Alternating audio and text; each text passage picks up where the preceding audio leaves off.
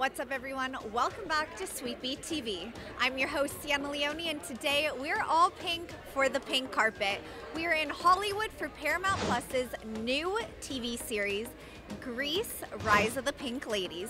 Let's go catch up with the cast. So tell me, what are you feeling? What's going on? I feel really excited. Lots of little butterflies fluttering in my stomach right now, but I'm really excited for everybody to watch the first episode. I've seen it about a thousand times, so I'm feeling ready.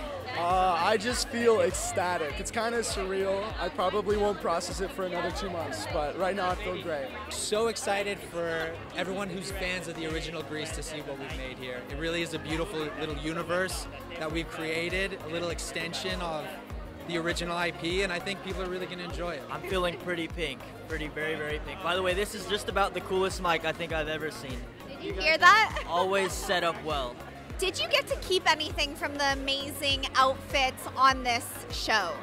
I did not get to keep the T-Bird jacket, but I think that's in hopes that we will have more stories to tell in the future, so I'm okay with it. But um, I did, I think I stole a little wrench because the T-Bird car is my car, and that was kind of my thing, and I was always flipping a wrench, and I think I snuck one out the back door. Paramount, did you hear that? Yeah, yeah. I'm honestly one bad joke away from getting fired, so please. I did not. A lot of the clothes were actually, they're 70 years old. They're from the 1950s. So we had to be really delicate with the clothes, and they actually were, you know, very precious. Uh, but I definitely took home the style with me, and I dress a lot more 1950s nowadays with a 2020s twist. You know, when I was watching this, you guys paid such amazing tribute to Grease, and I picked up on the first few episodes some little Easter eggs that are that are planted. So, without giving too much away, what do you want everyone at home to be keeping their eyes peeled for in this one?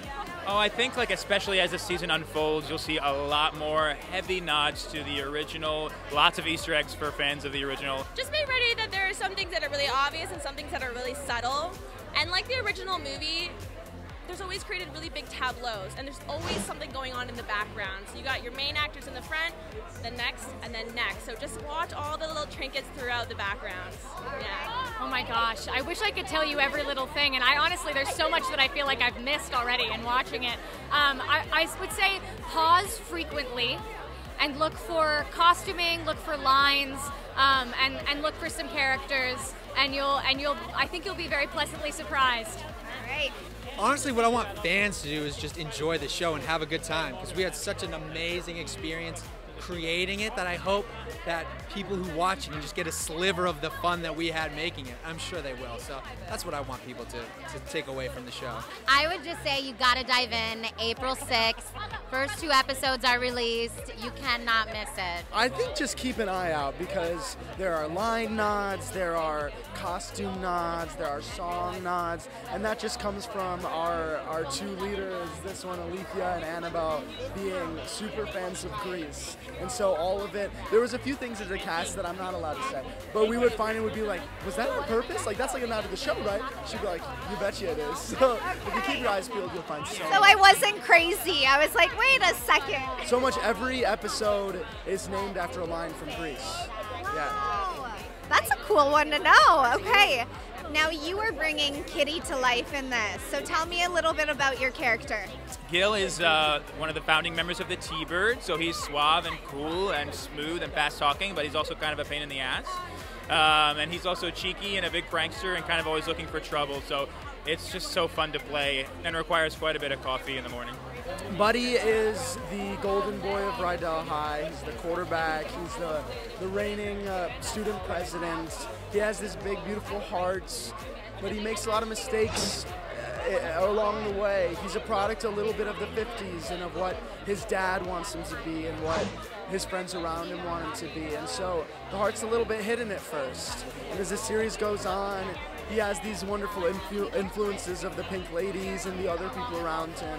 And he has to decide if he wants to stay the same person he is or if he wants to, to grow and show that big, beautiful heart that he has. So excited for people to see it. I'm excited for them to see someone who uh, maybe looks and acts a little bit different than the expectation, and I'm excited for the song and dance. Kitty Facciano is the mother of Jane and Francesca, Fran, and she is she's balancing this life, moving to Rydell and doing something new and needing to think that she's assimilating and normalizing to this city, but also being Latina, which is something that was very important to me to represent. Neil is just a person who you love to hate. You know, every show needs that, and I'm so happy to be the hateable character in this show. I'm really looking forward to it. She is bringing a lot of attitude, I'll tell you that. Yeah, she is a little devious, vain, insincere woman, and I love her. We all love that. Yeah, Sometimes it's fun to watch. Yeah, exactly. 31 original new songs. So, that being said, do you have a favorite? I know that's a loaded question. Uh, it is such a loaded question. Jason Schmidt's uh, "Take the Wheel" is an amazing song. Oh my God! Every song is that's that's that's an unfair question. Every okay. song is amazing. Face to Face is the bop. Land doesn't look so bad in episode in episode eight with Maxwell, who plays Wally, is my my favorite song in the show. I just think there's a spectrum of like the three genre and what our genre is, and that one hits dead in the middle, and I just love it. Now, in the junket yesterday, we talked about that representation you're bringing to the screen. So, this is a big, big honor. So, just speak a little bit about that for me. Yeah, I mean, when I was younger, I didn't really have much access to queer representation in the media, especially specifically butch lesbians. It's really not something that's super common. And uh, I mean, I grew up watching um, Orange is the New Black, which was not the most age appropriate source material. Um, but but now to be able to uh, share my queerness with the world um, and with young people and share with them that it's okay to be yourself is just really, really special. You gave me a really good soundbite in our junket yesterday when I asked about the outcasts and that message for them. You said, stay weird, or. Oh, yeah. yeah. Let your weird out. Let your weird out. What can you say on that for the outcasts watching? Let your weird out. Yeah. Expand on that. Um, yeah, I mean, I think the whole. Uh, one of the main messages of the show is that you really should be who you are and not who you're supposed to be. So let your weird out. Be weird as like a pretty weird kid myself. Like I didn't find confidence until I just accepted that I was a little bit strange. So you'll be happier and you'll find a lot more success.